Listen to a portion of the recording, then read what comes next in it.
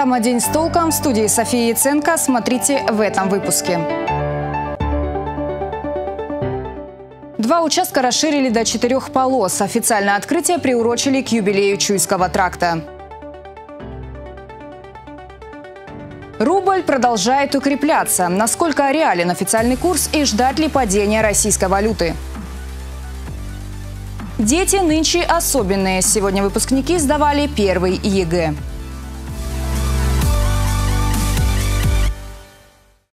На двух участках Чуйского тракта расширили участки до четырех полос. Официальное открытие дорог состоялось сегодня, в день, когда Чуйскому тракту исполнилось 100 лет. Точнее, прошел ровно век с того момента, как Чуйский получил статус дороги государственного значения. Сегодня по Чуйскому тракту проезжают миллионы туристов каждый год. О грандиозных планах по расширению трассы расскажет Ирина Корчагина.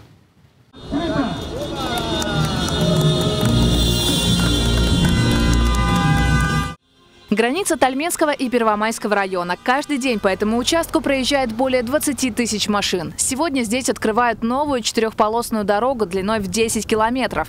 Ее строительство началось осенью 2019 года. Завершить работы планировалось в ноябре, но зафиналили на полгода раньше. Первые 5 километров ввели еще в сентябре 2021 года. Мечта автомобилистов о четырехполосном Чуйском тракте все ближе. Так, вместо 2035 года Чуйский могут расширить до 4 трех полос уже к 2030-му. 182 километра нам осталось расширить до четырех полос. В прошлом году мы 7 километров расширили, в этом выходим на 12. И в следующем году планируем выйти, а в случае благополучного расклада, возможно, и в этом году дадим досрочный ввод, на 24-25 километров. Простая математика показывает, что это действительно 8 лет, и мы можем эту задачу выполнить заблаговременно. Ровно сто лет назад, 26 мая 1922 года, Чуйскому тракту присвоили статус государственной дороги. Сегодня трасса соединяет три региона – Новосибирскую область, Алтайский край и Республику Алтай. Для нашего региона это еще и самая туристическая дорога, которая ассоциируется с Титовым, Шукшиным, Рождественским. Каждый год по этой трассе проезжают миллионы путешественников со всего мира. Кстати, Чуйский тракт включен в 10 самых красивых дорог планеты. Сегодня то, как организована работа на федеральной сети в Алтайском крае для всех остальных наших дорог, это, конечно, эталон. Это пример, к которому надо стремиться. Там и финансовая составляющая, там и э, техническая оснащенность и обеспеченность. А это уже другой участок Чуйского тракта – маршрут Новоалтайск-Баюновские ключи. Сегодня здесь тоже официально открыли новую дорогу длиной в 11 километров. Четыре полосы повысит пропускную способность на одном из самых загруженных участков Чуйского. Расширять трассу здесь начали два года назад. Все это время поток машин был перенаправлен на объездной маршрут. Добавим, что в этом сезоне расширение Чуйского идет на пяти участках, что сделает дорогу еще более привлекательной для туризма. Ирина Корчагина, Дмитрий Денисов. День стол толком. Почти неделя, как в Барнауле, полностью закрыли путепровод на новом рынке. И дорожная обстановка в городе продолжает оставаться сложной. Сегодня в мэрии обсудили, какие коррективы необходимо внести, чтобы пробок в краевой столице стало меньше. Подробнее в сюжете. Повысить эффективность и минимизировать неудобства – главные задачи, которые предстоит решить в связи с перекрытием путепровода на проспекте Ленина. На расширенном совещании власти оценили текущую обстановку и обсудили, как ее улучшить. Мы собрались не для того, чтобы пообсуждать, кто критикует за пробки. Мы здесь обсуждаем с вами те предложения, которые есть разумные, их надо применить. Где-то через это чувствовать какое-то социальное напряжение, э, как себя люди чувствуют, как они реагируют, как они двигают. Но нам надо что-то создать, где мы аккумулируем. На сегодняшний день продолжают корректировать работу светофоров, увеличивают интервалы зеленого сигнала. Кроме того, вводится запрет стоянки авто на отдельных дорожных участках. Чтобы быстрее устранять заторы при авариях, принято решение выделить дополнительную технику. Кроме того, с 9 утра до 12 часов уже увеличили количество экипажей для регулировки движения. Так как многие водители успели перестроить свой график и начали выезжать раньше, теперь регулировщики работают с 6 утра. Работники ДПС, ну просто молодцы. Работают четко, работают корректно, уважительно к участникам движения. Это тоже сегодня очень важно. Обсудили и изменения, которые вступят в силу с 1 июня. На улицах Пионеров и Северо-Западной в сторону Калинина нельзя будет парковаться. На отдельных участках изменится схема движения по полосам. Ежедневно мы как сами мониторим ситуацию своими силами, так и поступает информация от автовладельцев. Где-то есть реальные предложения, где-то добавить дополнительно зеленую стрелку, постоянные правые повороты, где-то что-то передвинуть, переместить, как говорится, сделать полосу разгона. Все эти предложения мы принимаем, учитываем совместно с комитетом, ежедневно мы решаем.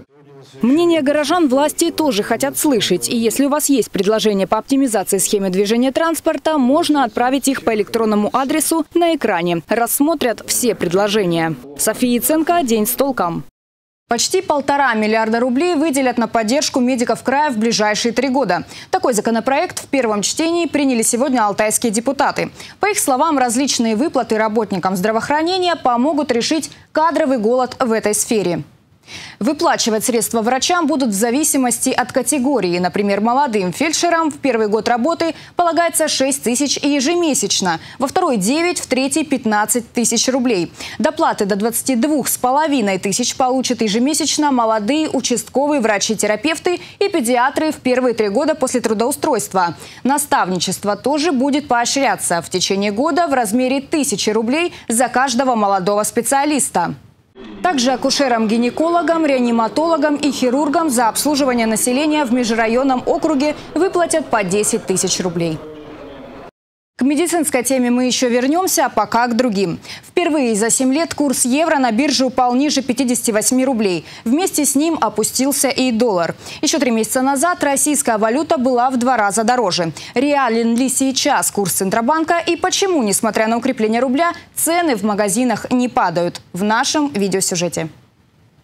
Резко вырос, резко упал. Вот только цены в магазинах не упали, а где-то даже выросли. Владелица бутика модной одежды рассказывает, колебания курса евро и доллара ощутили на себе многие. Стремительный рост валюты весной этого года отразился на стоимости закупки сезонных коллекций. Курс э, рубля к евро варьировался очень сильно, и фактически мы выкупали товар по курсу примерно от 70 рублей за евро э, до 135 рублей за евро. А кроме этого, мы тратили довольно-таки большие суммы на всевозможные комиссии, потому что комиссии по конвертации рублей в валюту, э, за переводы и разные другие скрытые комиссии, они доходили ну, достаточно до больших существенных сумм. Однако предоплаты, сделанные за 8 месяцев, все же помогли избежать критических расходов и вынужденного повышения цен. На сегодняшний день курс евро на бирже упал до 58 рублей. Владелица бутика не скрывает, о такой стоимости в период закупки коллекции можно было только мечтать.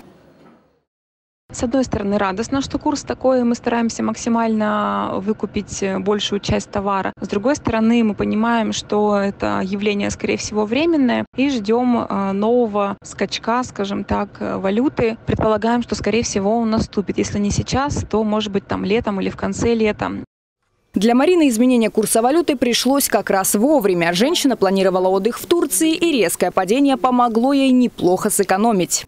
Когда посчитали тур на двоих взрослых на 9 ночей, правда, вылет из Москвы, получилось, э, тур стоит 150 тысяч рублей.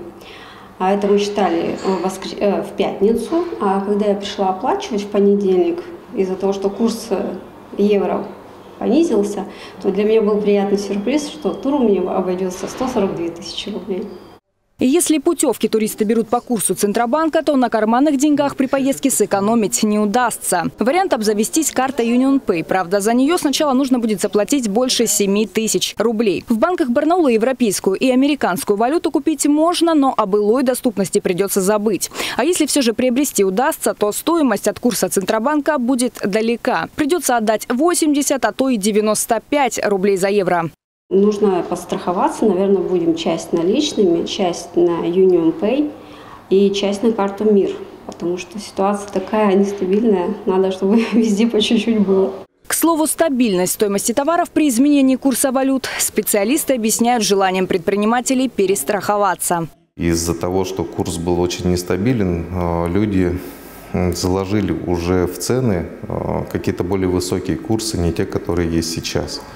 То есть они пытаются нивелировать риски каких-то колебаний, потому что оборачиваемость товара из-за низкой покупательной способности выросла. То есть товар стоит на складах дольше, и, соответственно, в случае опять повышения там, курса могут возникнуть проблемы. На самом деле резкое падение валюты далеко не всегда в плюс. Надо смотреть на курс не только с точки зрения импортеров, которые покупают товар и предлагают его, но и с точки зрения экспортеров. Они должны тоже исполнять свои обязательства, а, налоговая база должна наполняться. Поэтому Центральный банк сейчас регулирует этими возможностями, послаблениями какими-то, поддерживая более высокий курс. А, возможно, он снимет еще больше ограничений. По словам многих российских аналитиков, скоро курс рубля к доллару начнет ослабевать. Эксперты сходятся во мнении, что крепкая российская валюта будет до конца мая, после чего начнет слабеть до более реальных на сегодняшний день значений. Так что сейчас самое время покупать, но главное найти так как продают только ту, что поступила в банки после 9 апреля. Кстати, большей части населения до доллара нет дела. Ведь и сегодня, и завтра, когда рубль снова слабеет, резкого снижения цен на товары и услуги не предвидится. София Ценко, Дмитрий Денисов, Андрей Печоркин. День с толком. Главные вопросы практической медицины в ортопедии и травматологии сегодня обсудили ведущие специалисты страны. В Барнауле на базе федерального центра именно два этих направления стали главной темой обсуждения на Всероссийском съезде. Подробности далее. Опыт регионов интересен всегда. Сегодня в Барнауле начал свою работу шестой съезд ортопедов и травматологов. Приехали специалисты из Смоленска, Новосибирска и Чебоксар. Среди гостей главный военный госпиталь страны и Центральный институт травматологии и ортопедии очень сложно спланировать помощь больным с травмами, с ортопедическими заболеваниями одинаково во всех регионах, потому что регионы абсолютно все отличаются друг от друга и по размеру, и даже по особенностям патологии. Есть своя специфика в каждом регионе. Поэтому это нужно каким-то образом все консолидировать. Первая задача – вопросы организации. Например, проработка деталей оказания первой помощи населению. Должно быть это комфортным, удобным и безопасным как для больного, так и для самого врача. Конечно, это новые технологии, это новые имена в травматологии, ортопедии. Ну, конечно, это самое главное для нас.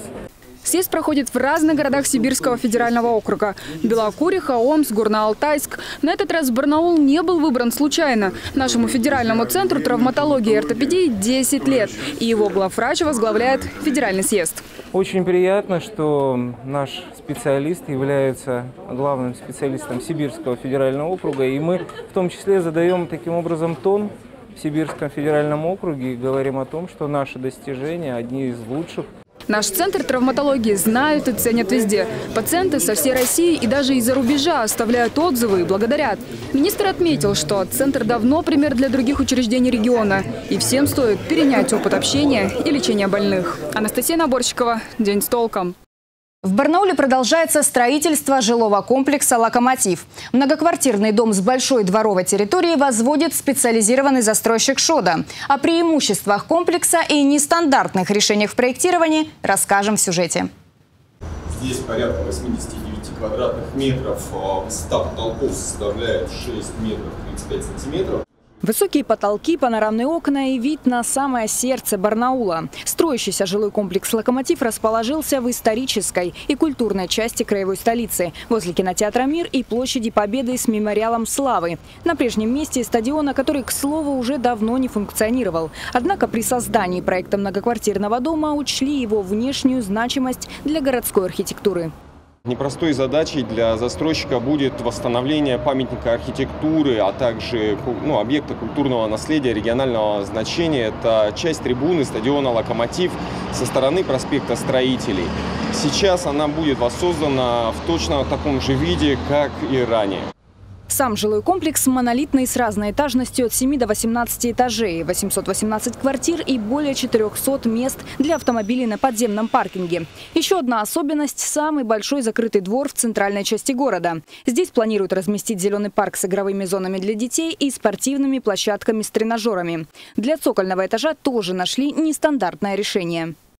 Возникла у меня идея э, пропустить вот этот пешеходный трафик, очень неудобный по э, тротуару строителей, где очень много машин, очень приближен он э, к транспорту, пропустить их внутри, сделав такую вот торговую галерею пешеходную. Это и комфортно, и удобно.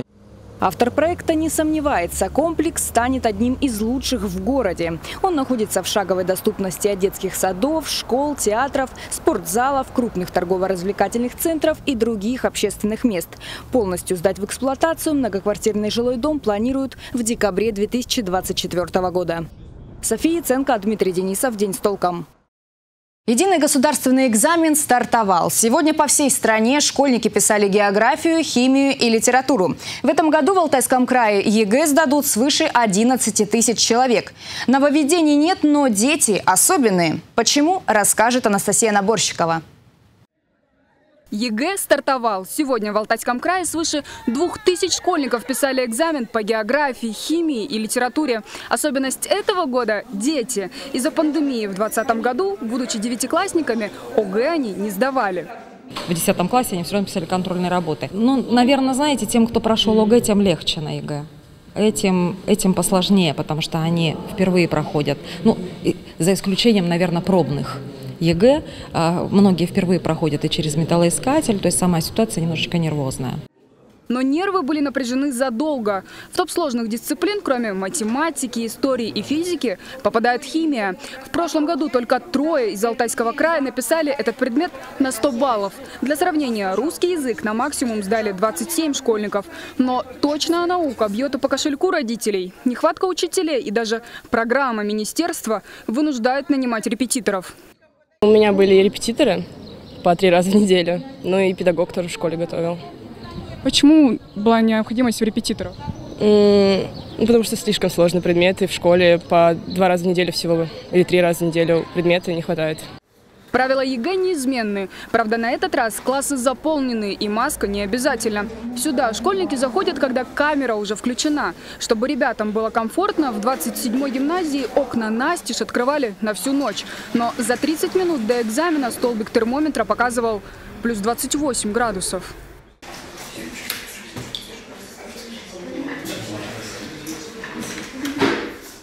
Это члены ГЭК э, приходили с токеном. Они приносили ключ для активации работы станции печати. Это не контрольно-измерительные материалы. Контрольно-измерительные материалы сейчас получили организаторы на дисках. Эти кадры можно считать эксклюзивными, потому что сюда журналист должен попасть только получив аккредитацию, сдав на входе телефон, паспорт и любую другую технику. А когда ребята начнут писать экзамен, мы выключаем камеру и покидаем школу. Анастасия Наборчикова, Вадим Быстревский. День с толком. Театры края готовятся к завершению сезона. В течение месяца у зрителей еще есть возможность попасть на премьерные показы, прежде чем актеры уйдут на каникулы. Каким был сезон в каждом из театров Барнаула, молодежном, музыкальном, кукольном и драматическом, расскажем в нашем сюжете. Сама сказала покрасивее одеться, я и оделся. А? Что? Поступил? А я говорила, а я говорила. Как тут вообще ходить-то? Считанные дни до окончания сотого юбилейного сезона в Краевом театре драмы. А завершится он парадом премьер. Завтра у зрителей еще есть шанс попасть на спектакль, с которого и началась история театра драмы в ноябре 1921 года. Я не знаю ни, ни одной ноты, господа. Разве вы не видите, она помешана? Несколько показов самых популярных спектаклей пройдет в июне, но уже вне сезона. Затем гастроли в Краснодаре. Для корифеев театра за плечами еще один год творчества, а вот для молодых актеров, кто пришел на сцену сразу после института, это еще один год упорной работы над собой и экспериментов. Была сказка новогодняя «Пеппи длинный чулок». А, пришла, я, я, я не помню, там был, был момент, а, пришла бумага с назначением на роли. Я смотрю, у меня там роль господин Нильсон. Я не помню, кто это такой. Я давай смотреть в интернете, думаю, ну может там какой-то плохой злодей, там какой-нибудь самый главный. Смотрю, это обезьянка. Я думаю, о, пластическая роль, офигенно. Мне кажется, ну не знаю, мне как молодому артисту это, это вообще в кайф. 17 июня премьера спектакля «Человек-амфибия» завершится творческий сезон в музыкальном театре. Здесь, к слову, готовится уже к открытию нового сезона. В сентябре зрители увидят постановку «Хан Алтай», которая, по словам руководства театра, станет мировой премьерой. Такого названия не было. Это новое название, то есть и специально для нас сейчас пишется авторами пьеса, то есть история пишется. Ее, то есть не было нигде, это нигде-то ни в книге, нигде. Эта история пишется именно специально в Алтайском крае об Горном Алтае, о Хане Алтая. Преобразился музыкальный театр и внешне. Ремонт фасада и благоустройство прилегающей территории обошлось в 30 миллионов рублей. Средства выделили из краевого бюджета.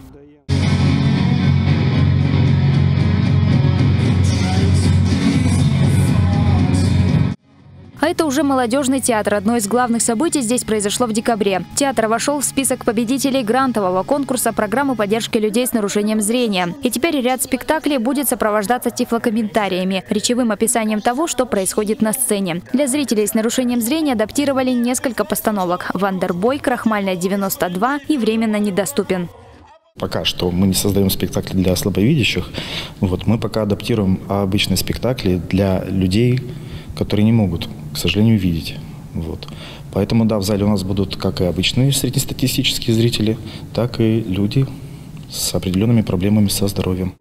Закроет сезон молодежный театр «Алтая» 22 июня. Премьера спектакля «Марии на поле» Ирины Астафьевой. Героиня 300-летней жительницы вымершей деревни отправляется встречать мужей на железнодорожную станцию, откуда в 41-м проводили их на войну. А 25 июня на время закроет свои двери для зрителей и кукольный театр «Сказка». Этот сезон им запомнился прежде всего переездом в новое здание. Мы рождены на свет, чтобы везде ходить и ничего не делать. Есть и другой повод для гордости. Премьера уходящего сезона спектакль для взрослого зрителя «Паша» был приглашен на фестиваль в Губернский театр Москвы, а исполнители стали лучшим актерским ансамблем. Так что отдыхать театром можно уходить с чистой совестью и планами на новый сезон. Анна Рашагирова, Дмитрий Денисов. День с толком. Ну и завершим выпуск около спортивной информации. Карандин-арену выставили на продажу. Владелец Михаил Дроздов продает спорткомплекс за 500 миллионов рублей. Хотя оценочные эксперты считают цену завышенной. Сам Дроздов от комментариев отказался. Спортивный объект может перейти в краевую собственность. Данный вопрос прорабатывается в региональном министерстве спорта. А на этом у меня все. Спасибо всем, кто нас смотрит. Напоминаю, что для вас работает телефон нашей редакции 205 545.